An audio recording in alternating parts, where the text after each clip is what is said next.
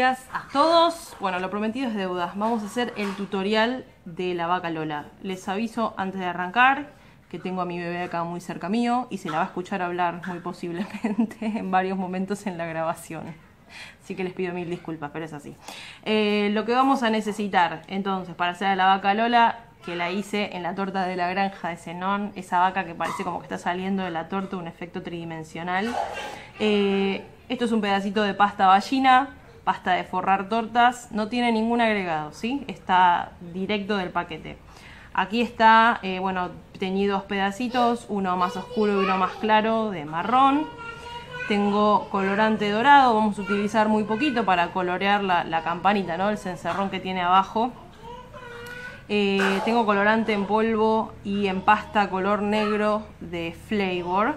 El, el, colorante en pasta lo voy a utilizar para pintar y el colorante en polvo lo voy a utilizar para sombrear. Este es colorante liposoluble, es el que se usa en chocolate. Yo lo prefiero antes del polvo para pétalos porque este es comestible. El polvo para pétalos sabemos que es no tóxico, no comestible, pero el colorante liposoluble es comestible. Entonces siempre que puedo eh, lo uso para sombrear.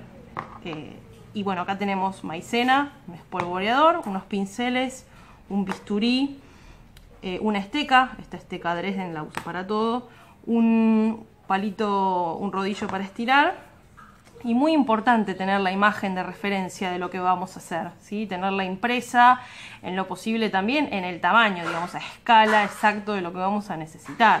No solamente porque nos ayuda a, cortar la forma general inicial, eh, sino porque también nos ayuda a ver el tema de la pintura, las proporciones que tienen que llevar el, el tamaño de los ojos, el tamaño de la nariz, nos ayuda para crearla en general. Entonces, traten de tenerlo esto impreso, la imagen de referencia. Bueno, empezamos. Voy a amasar un poquito, ya la había amasado antes, está bastante elástica, pero le voy a dar un poquito más.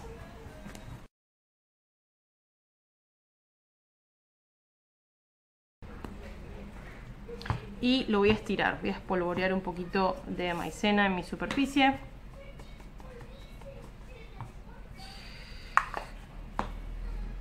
Lo voy a estirar pero ¿cómo lo voy a estirar? Atenti a esto. Voy a dejar que, voy a hacer como más presión llegando hacia uno de los lados y voy a dejar el otro lado más grueso. Si quiero que me quede como, ven que acá está más gruesito, acá, perdón, acá está más finito y acá está más grueso. Quiero que me quede así, ¿sí? Porque justamente porque es el efecto de la vaca, ¿no? Que está viniendo o está saliendo, entonces de lo que está más lejos, digamos, es lo que tiene que estar más finito y lo que está saliendo de la torta se tiene que estar como más gruesita esa parte. ¿sí?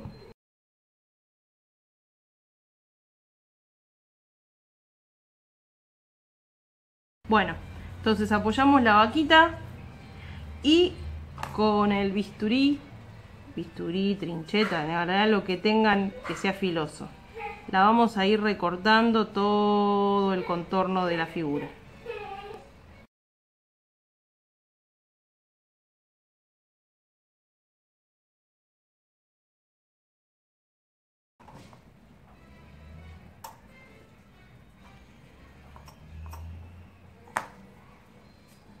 Y acá tengo la forma general, ¿sí? De la vaca. Voy a usar la estequita para tirar hacia atrás cualquier rebarbita que me haya quedado o desprolijidad de, mi corte. Voy a usar el dedo para suavizar las esquinas, ¿sí? Que no me quede como el corte tan recto.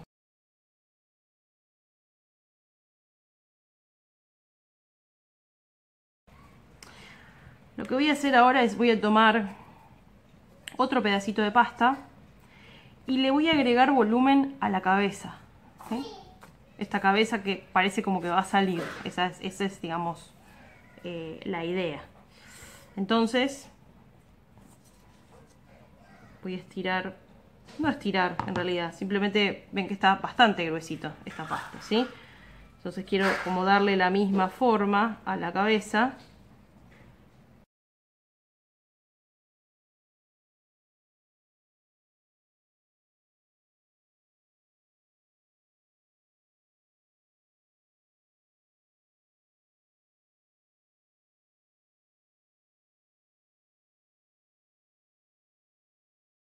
Y eso se lo agrego a mi figura inicial, ¿sí? a mi figura principal que recorté y la estiro hacia abajo. Fíjense que lo que yo estoy haciendo acá es como uniéndola con los dedos. Ahí está, para que pase a formar parte ya de la figura. Acá al costado no lo voy a unir, ¿sí? porque mi idea es que parezca que, es, que está separada, ¿no? sé que, que hay una diferencia, digamos, en el volumen, para que realmente le dé ese efecto. Después me tengo que fijar en las facciones ¿sí? que tiene la vaca. La apoyo ahí para tener una idea. Entonces sé, apoyando la imagen, que tiene los dos ojos a esta altura más o menos. Retiro la imagen y hago el surquito de lo que serían los ojos. ¿Mm? Ahí está. Tiene tienen que ver bien la imagen y se nota que en la parte de los ojos es como que se hunde ¿sí? la cara. Esa diferencia de volumen la tenemos que tener en cuenta y marcarlo también en la pasta. ¿sí? Siempre cuidando, mejor dicho, no descuidando la forma, ¿sí? que quede, que no se nos deforme la, la, digamos, la cara en general. Y Vamos a usar luego la esteca para marcarle, acá tiene la boca, ¿sí? Entonces le vamos a marcar donde termina la nariz. Escúchenla la otra. Donde termina la nariz. Acá está la boca.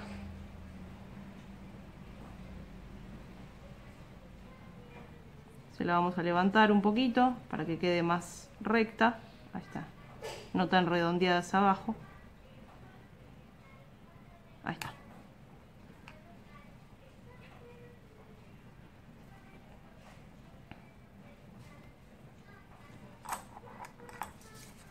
De nuevo, acá por hacer presión se me está abriendo. Entonces eso lo tengo que tener en cuenta si tengo que recortar un poquito para volver a enderezar y que me quede exactamente como la forma de la foto. Siempre usamos la imagen ¿sí? de referencia, porque eso es lo que queremos, a eso queremos llegar, digamos. Podemos levantar un poco la, la nariz.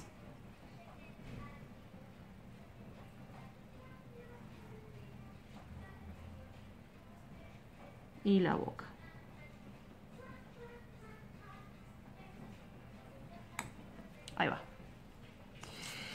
Bueno, entonces ahí ya tenemos la forma en general. Lo que vamos a hacer ahora con la esteca, con esta parte que bueno, si no tienen esteca pueden usar un palito de brochet, en realidad lo que tengan que sea, que termine así en punta, ¿sí?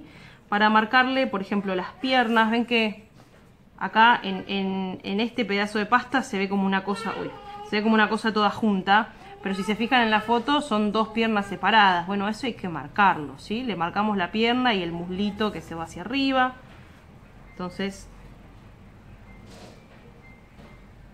marcamos.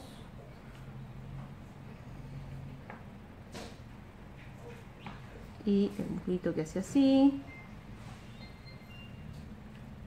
Bien. Le podemos marcar acá las patitas.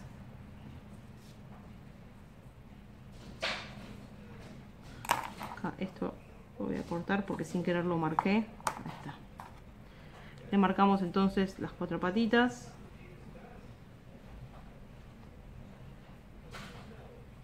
Ahí está.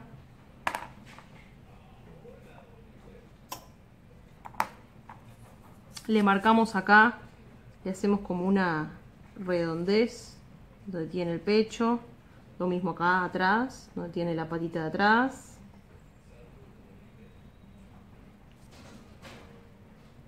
Ahí va. Uy, qué tiro. Bueno, entonces voy a agarrar un pincel.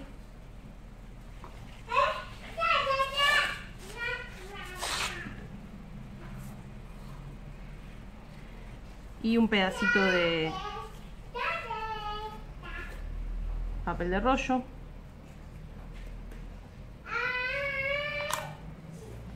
Y con este colorante en polvo voy a empezar a sombrear. Y también usamos la imagen de referencia para ver dónde está el sombreado, dónde hay sombreado. Y yo veo más oscuro acá en la parte del lomo, en la pancita.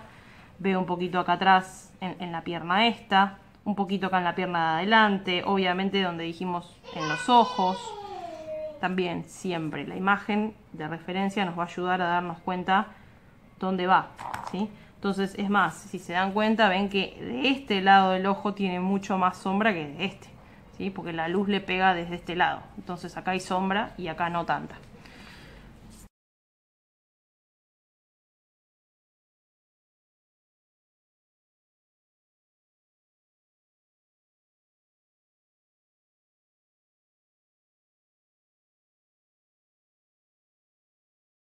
Bueno, voy a hacer los ojos ahora entonces. Voy a posicionar entonces nuevamente a la vaquita. Voy a usar esta parte de atrás de un pincel eh, porque no tengo un bolillo tan chiquitito. Entonces voy a usar esta parte que es redondeada para hacerle los, los surquitos de donde van los ojos, ¿sí?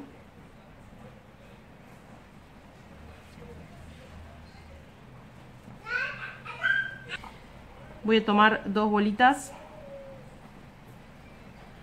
de pasta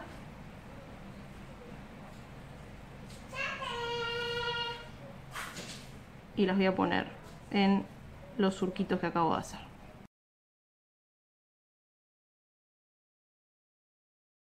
Luego con eh, la pasta marrón que teñí, un poquito más oscura,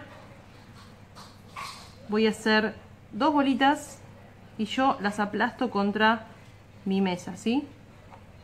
Y se las pongo. me salió un poquito grande.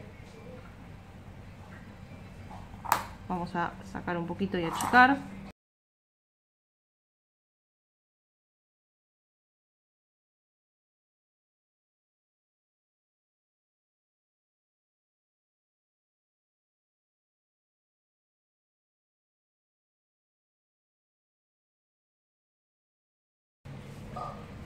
Voy a arrancar entonces a pintar y van a ver que ya a esta altura y con todos los detalles en pincel va a tomar mucho más vida. Voy a utilizar colorante en pasta flavor, color negro. Puse, en la tapa del colorante puse un poquito de vodka, ¿sí? Acá con esto voy a diluir entonces la pintura negra.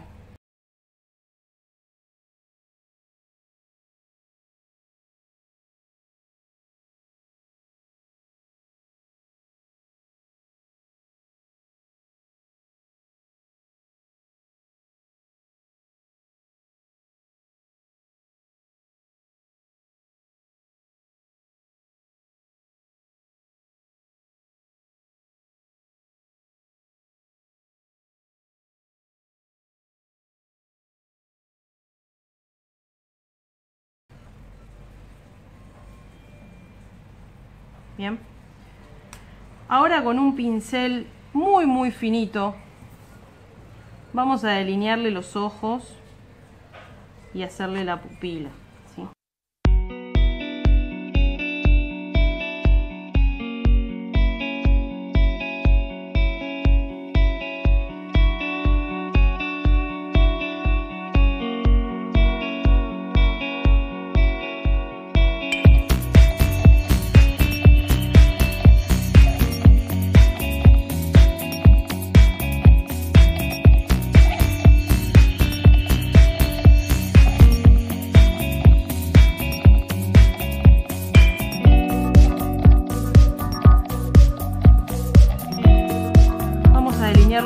También la parte de abajo del labio, ¿ven? Toda esta línea negra que tiene ahí.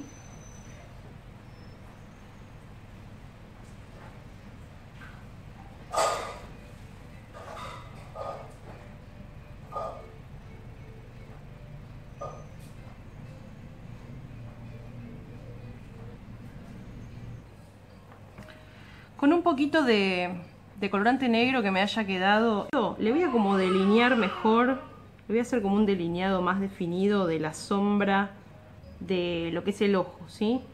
Como, como está acá. Toda esa rayita del costado que se va hacia arriba. Todo eso lo voy a hacer como más definido con este pincel finito. porque el que, el que utilicé para sombrear es este era muy grueso, ¿sí? digamos, no podía hacerle este efecto. Así que se lo vamos a hacer ahí, acá también. Pero fíjense que en realidad yo no mojé el pincel, ¿sí? Yo simplemente con lo que me había quedado que usé para delinear, con ese restito estoy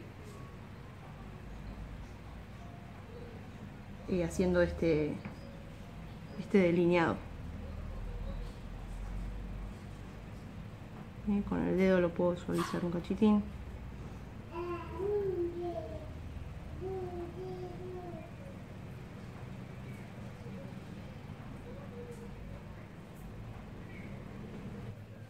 Le voy a hacer entonces, ahora le vamos a hacer las orejitas.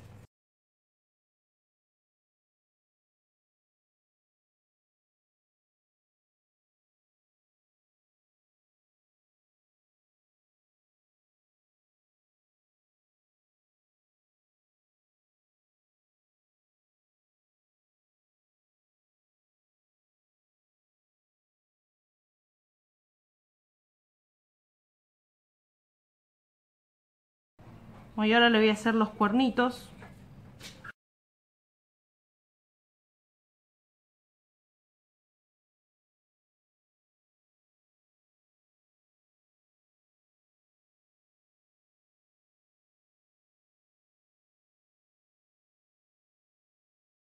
Bueno, y para hacer ese encerrón vamos a partir de una bolita. Estoy utilizando este color de masa porque luego lo voy a pintar de dorado, ¿sí? Entonces eh, me va a tomar mejor que si lo hago en blanco. Estoy aplastando los bordes para que me tomen, ¿ven? Esta forma. Y luego voy a cortar un poquito la base para que me quede recto abajo.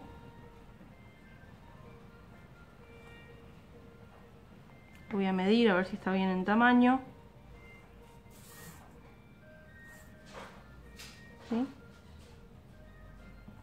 Y se lo pego ahí abajo.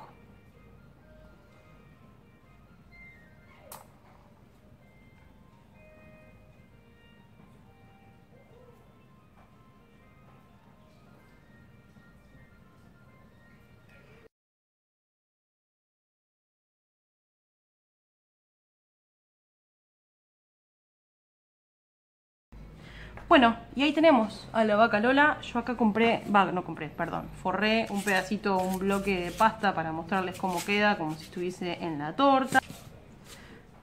Así que la tomo. Está. estoy trabajando así porque todavía tiene la pintura húmeda. Idealmente dejen secar antes de hacer esto pónganla eh, lo más posible en la posición inicial. Y acomodándola. Pero básicamente ahí está. Ahí tienen a la vaca Lola decorada saliendo como les decía. Esta parte de atrás quedó como más finita de nuevo, cuando esté seco ustedes pueden hacer el trabajo de, apretarlo bien, inclusive alisarlo un poco más hacia el fondo. Ahora no lo quiero tocar porque la pintura está fresca, pero eh, fíjense que está en la parte de atrás bien finita, como que está lejos, y la parte de adelante es lo que destaca y sale hacia afuera, y eso es lo que le da el efecto. Espero que les haya gustado, que les sirva y cualquier duda saben que estoy a disposición. En Facebook me encuentran Lucía Loro, mi página Milevian by Lucía Loro, estoy en Instagram arroba, arroba Milevian y les mando un beso enorme.